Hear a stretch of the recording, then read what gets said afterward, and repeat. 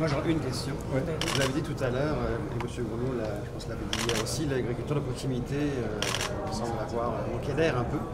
Ça prend des changements législatifs, notamment au niveau des quotas pour la régie des marchés. Est-ce que vous allez aller jusque-là va voir ça? Ben, ce que je vous dirais, c'est que moi, j'ai exprimé ce que j'entends sur le terrain.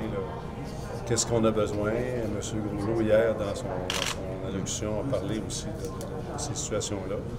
Je ne vais pas dans les spécifiques, là, mais c'est certain qu'il faut qu'on contribue à donner un environnement encore euh, plus facile pour tous les gens qui veulent pratiquer l'agriculture au Québec. Moi, je suis engagé dans cette direction-là. là. Je ne donnerai pas de détails aujourd'hui, mais c'est sûr que je suis engagé dans cette direction-là. Vous ferez ça aussi, M. Gounod Ben, également, on a euh, les, les productions concernées là, dans la volaille ont pris connaissance de la décision de la régie.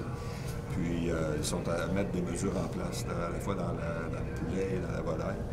Euh, la régie aussi a ouvert un élément intéressant sur euh, pour d'impliquer une tierce partie dans la commercialisation aussi, ce qui n'était pas prévu avant. Ça aussi, on est en train d'évaluer la, portée de cette possibilité-là. Alors, on est au travail.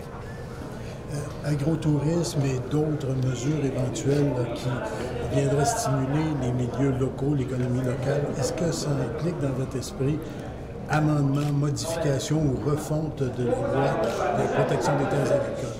Ben, je vous dirais, je ne veux pas m'engager dans l'idée de, faire une refonte et tout ça, parce que présentement, c'est sûr que je, suis à analyser, cartographier un petit peu tous les commentaires et les besoins qu'on peut avoir au Québec à ce niveau-là. Mais une chose qui est sûre, c'est qu'en 2020, bientôt, de considérer l'agrotourisme comme une activité qui est non agricole, c'est certainement pas productif, ça vient certainement pas soutenir nos entreprises agricoles.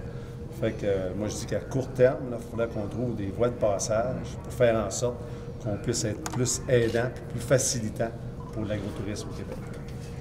Concernant le, le plan euh, agricole, euh, d'agriculture durable, pouvez-vous Oui. en dire plus? Ben non, c'est là, c'est un petit teaser. combien? C'est un Ah. petit teaser que je vous ai envoyé là. Est-ce qu'il va y avoir une enveloppe attachée à tout ça? Ben écoutez, hein, quand on annoncera ça, là, on- vous allez tout savoir ça. là. Et quand est prévue l'annonce? On va être prêt. J'ai dit ce printemps, j'ai dit le printemps 2020, enfin, j'ai dit le printemps Est-ce 2020. que le budget, ça compte comme le printemps? Ben faites vos calculs, là, regardez ça, là. Checkez ça. Bon, ce matin, il y a eu une annonce de 25 millions de la financière Oui, agricole. là. oui. Euh, Vous avez dit en chambre et tout à l'heure aussi que s'il y avait quelques flous euh, ou des zones grises, on allait pouvoir s'en occuper. Est-ce que la zone grise, c'était le propane? Bien, ça, en réalité, là, on parle de deux, deux- deux dossiers différents. Ok, c'est le toujours 25 ça. millions, c'est vraiment pour ce qui touche le, les- les- les- le- fourrage et les, les foins, euh, les difficultés qu'ils ont eues. Il y avait un premier euh, 9 millions qui avait été accordé au mois d'octobre. Fait que c'est pour ces gens-là. Donc la zone grise, dans ce cas-là, c'était quoi? C'est pour le soutien euh, aux producteurs euh, de grains, productrices de grains, là, à savoir, euh, il y a- une panoplie d'intempéries puis de difficultés, puis le propane, c'en est un autre qui est sorti. L'exemple que je donnais, c'est que l'an passé, quand on a fini par régler la question de la sécheresse, bien, on a réussi à tenir compte des coûts beaucoup plus élevés que les gens avaient eu à- à faire face dans le cadre de pénurie. Là, ce qu'on s'aperçoit, c'est qu'il y a des, problèmes, en tout cas, qui sont, évidents, des augmentations importantes. Fait ce que j'ai dit, c'est que si ultimement les programmes sont en place, ne couvrent pas, ne sont pas assez aidants, je parle de zone grise, là, ben, on va certainement chercher à donner euh, une réponse appropriée. Euh, L'idée, là, c'est que quand on va terminer ce dossier-là, c'est qu'on va être capable de garder les gens, que les gens nous regardent, puis les gens vont être satisfaits des compensations qu'ils vont avoir. À une situation exceptionnelle, ce que j'ai dit, c'est qu'on va chercher, s'il y a lieu, là, donner une réponse exceptionnelle. Quelle autre dernière question? Ben, on n'a pas d'auteur encore parce que les gens ont commencé à déposer des avis de dépôt. Puis une chose qui est sûre, c'est qu'il y, y a la financière dans les différents programmes qui sont prêts à déclencher. Il y a quand même pas mal de millions dans le parquet là. là. Fait qu'il y a certainement beaucoup d'argent qui va être disponible pour les gens. Puis si ça finit, bien, que ça a besoin d'ajustement, puis tout ça, bien, on va chercher à poser les gestes appropriés. Merci beaucoup. Et concernant Google euh, à Beauharnois, est-ce que c'est- est-ce qu'il est trop tard pour considérer le terrain en zone industrielle? Bien, première des choses, je ne peux pas vous confirmer, parce que ça a apparu dans les journaux, mais moi, je ne suis pas au courant de l'entreprise qui s'en va là. Je ne suis pas au courant s'il y a un projet même qui va se réaliser. Ah, je dois vous dire ça.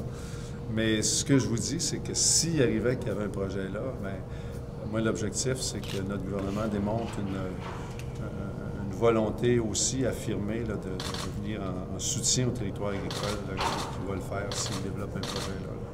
Mais est-ce que vous vous engagez à évaluer le- le- la possibilité de déplacer le projet sur le, le fameux terrain dont M. Le Bien, là, ce terrain-là là, a été identifié dans le cadre d'un projet possible là, comme étant le terrain euh, stratégique pour ce projet-là. Alors, moi, comme ministre de l'Agriculture, je, je- je prends acte à un moment donné de, de, ces possibilités-là. Puis mon rôle, ben, c'est de voir, ben, écoute, s'il est pour avoir un impact sur la zone agricole, comment on vient mitiguer, compenser, puis les gestes qu'on peut poser pour ultimement, de l'autre côté, venir renforcer le, le territoire agricole. Merci beaucoup. Merci, on vous laisse. Merci, M. Merci. Merci. Merci beaucoup.